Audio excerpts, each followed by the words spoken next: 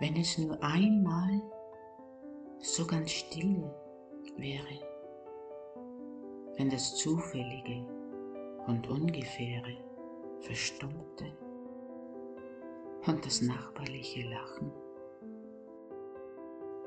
wenn das Geräusch, das meine Sinne machen, mich nicht so sehr verhinderte am Wachen,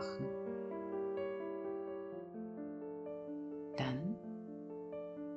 könnte ich in einem tausendfachen Gedanken bis an deinen Rand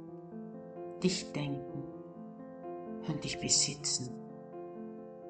nur ein Lächeln lang, um dich an alles Leben